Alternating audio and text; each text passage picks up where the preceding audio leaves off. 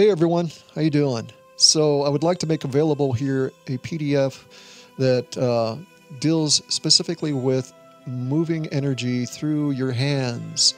Of course, this is going to correlate with the technique of grounding yourself to the Earth's core so that you can pull energy from below through the ground and above within your morphogenic chakras above your head and through the body and throughout your hands. So we're going to focus a little bit on this. Lately, I have been looking at my hands in a state of wonder.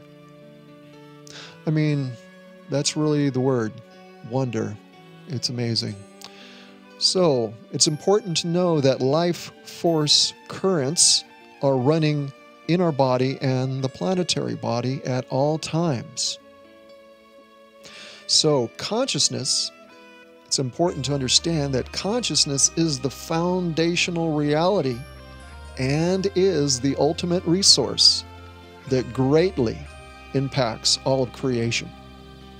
I'm going to digress just a little bit. The sound and light techniques. One of the things that I emphasized during that series, or when I was trying to communicate about that technique or techniques is the conscious intention behind what you're doing. It's not about pushing a button or waiting around for somebody else to do something to you. That's not a good idea to begin with. But it's to be understood that, that your conscious intention is the catalyst behind everything and anything. Consciousness is the foundational reality. Why? We are in a source consciousness field. Consciousness is the ultimate resource. That, of course, greatly impacts all of creation. So, the hands, right? The chakras, vortices in our body, and within our hands interacts directly with the life force currents and may be used to direct these currents. Okay, so what are vortices? They are counter rotating electrical and magnetic fields. So these vortices may be polarized to draw energy into a center as a magnetic vortex, and then to transmit energy outwardly as an electrical vortex. So the, the right hand sends energy out through the palm and draws it in through the back of the hand. The left hand has the opposite polarity, receiving energy through the palm and sending it through the back of the hand. Okay, let's take a look again at the right hand and left hand. The right hand is electrical. Okay? The left hand is magnetic. Vortices, remember? Electrical and magnetic counter rotating fields. So you've heard the expression, the in breath and out breath of God, right? So, what is that? The in breath is contracting, inhaling. That's contracting. What is that? That's magnetic. Okay, in this context, it's magnetic. And then the exhale, what is that? That's electrical, right? Expanding energies. So, electrical also referring here as being transmitting, expanding. The out breath. The left hand contracting, inhaling, magnetic, right? All right. It's important to know these things kind of demystify it Sometimes we get caught up in the poetry and not really know what the poet, not really know what the poem is about, if you know what I'm saying. So there's a technique to seal the frequency in our hands to transmit high frequency current as safely and purely as possible. Now, this technique has been around for a long time. It's ancient, okay? It's part of our human heritage. And this particular technique is described in the Kathara Level 1 manual. Okay, so if you don't have that manual and you would like it, all you have to do is contact me through my website. Um, you can find on my website my email address. You can contact me directly there and I'll send it to you. Okay? So here's the technique. If we place our left palm over the back of our right hand, we seal both of the incoming vortices. Okay? Then we can direct life force currents down our arms, into our hands, and throughout the right palm vortex without drawing extraneous energies in from the environment. So we're creating a clean channel. How is it that we are creating a clean channel? Well, the right hand is what? It's electrical expanding energy, right?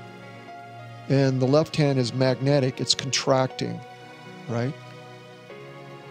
So when you take the left hand and you put it over the right hand, what are you doing? You're creating a counter rotating field like a Merkaba.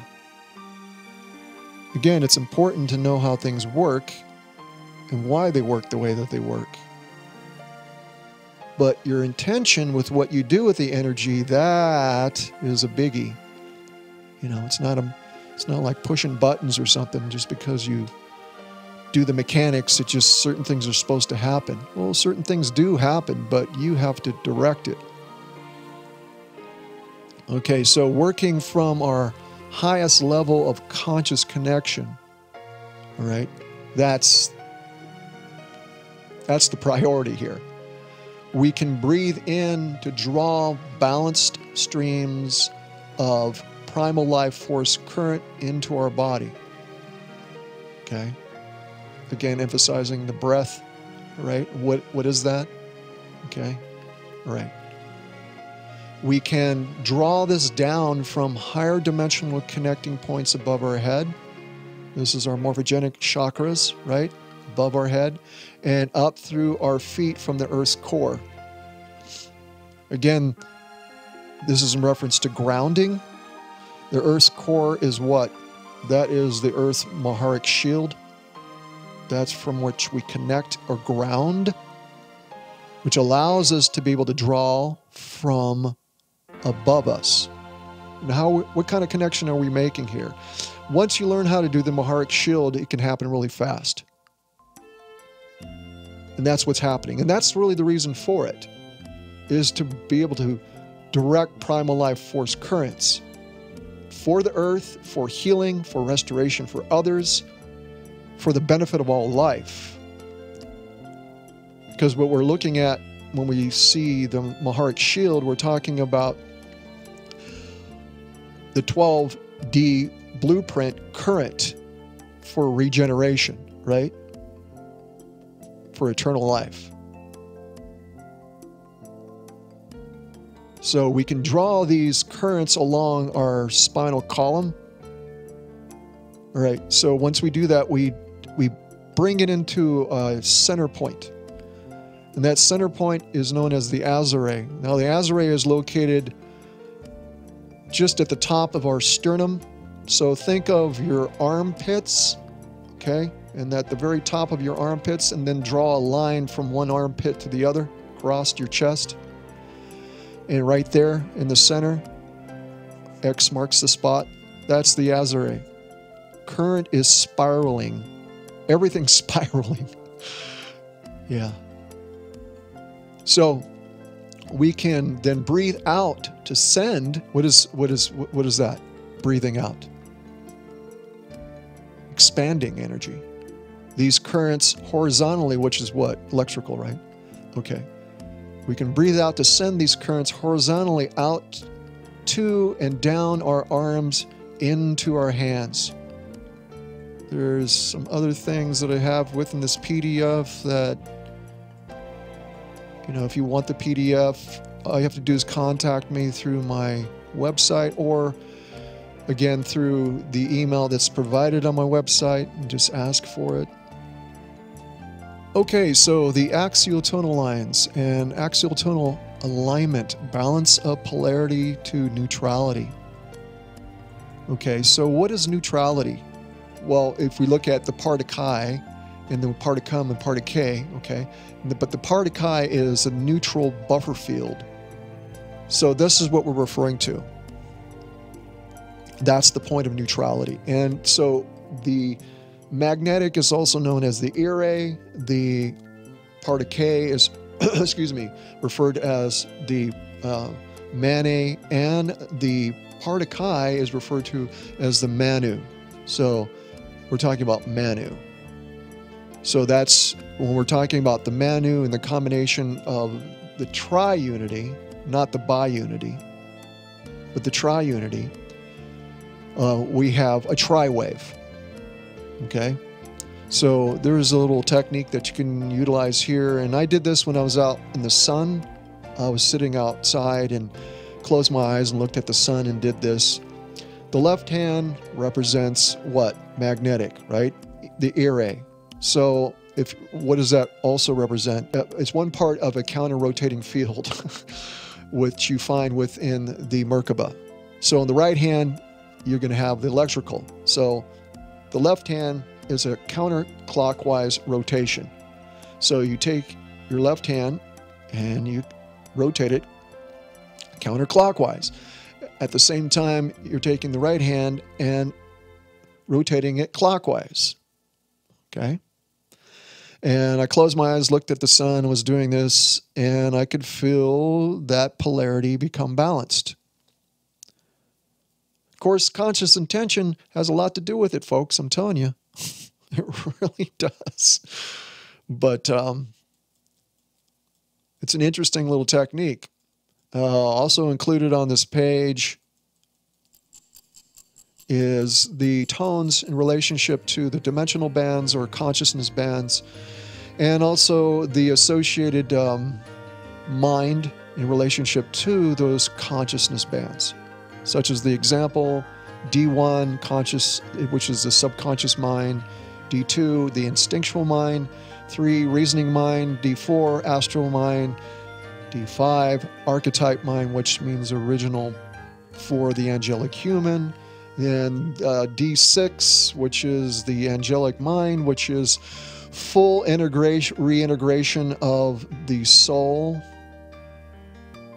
Now, the axiatonal lines, as you can see, now this runs throughout the entire body the same way. Down your right leg, it's going to be the same as your right hand, and so on and so forth. Your toes, and yeah. And the vertical column in the center is known as the Hara line, which is the 11th dimensional consciousness, which contains also within it the 12 dimensional consciousness. If you look at where the um,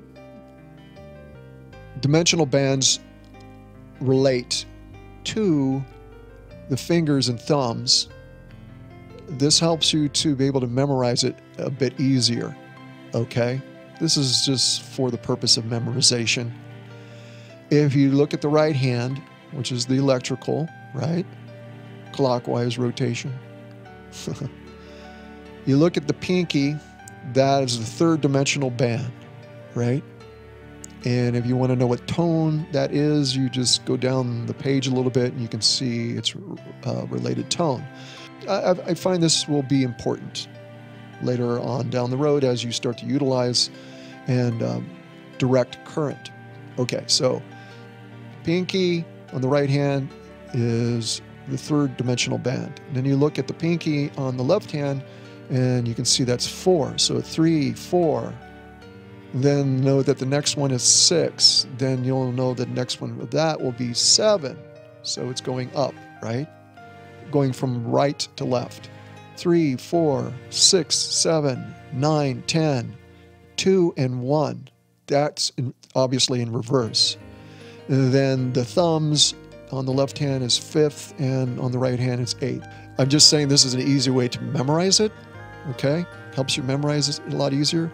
Then you can go, once you have that memorized, you can take a look at the color associated with the tones, and again, also the, the associated consciousness band or the mind. Okay. So there's other charts here that you've already seen, and I've already made them available for, before in other PDFs, but I thought I would, include them within this PDF because it's just it's relative. Okay. Um, again, the universal life force currents, level two, Kathara, crystal seals, and grid, chakras. You know, that's uh, that's something I included also within this because it was necessary because it fit in with what everything else that was being communicated. So I think this is probably the better overall. Once you get past a certain stage, it's this is probably the, the best reference um, PDF to go to. And of course, the planetary biofeed interface system. Without this, we couldn't do anything. Um, technique 6, which is the quick Maharic seal. This is probably the most condensed quick Maharic seal version. A lot of clarity in this. The graphics and the way it's laid out, it's very easy to understand and go through. And again, to emphasize, you ought to do this on your own and not to be listening necessarily to guided sessions. When you're when you're dependent on a guided session you're literally depending on it. When you can do it yourself you can take your time and you're the ones making it happen. So you're going to you know you're going to want you're going to need to do this on your own anyhow so you might as well just start out this way instead of just being guided by somebody i think it's better if you do it this way. Because once you once you get it down once you know what it is and you understand the steps you can just go through it like within seconds. You know? You can just breeze right through it. And that's really the whole point. Because there's no limitation to your ability how quickly you can do things or how slowly you want to do them you know? Either way it's all good. All right folks that's it. That's it for this um, so this is going to be made of. Well, I'm going to tell you what, I'm not going to post this on my website, I don't think, unless somebody asks me to do that. I'll just make it available to you. How's that? All you have to do is contact me through, um, well, just take the email address from my website and contact me directly that way and ask for this. Again, this is called Hands Are Like Quantum Transmitters and Sensors. Okay, that's what I'm going to title this. So, because the emphasis here for me is is the hands. It just hands are. It's just such a wonder. It just, yeah, it's pretty much it. I don't know how else to uh, communicate how I feel about it. It's just amazing. So anyhow, all right, folks. Blessings to you. Thank you so much.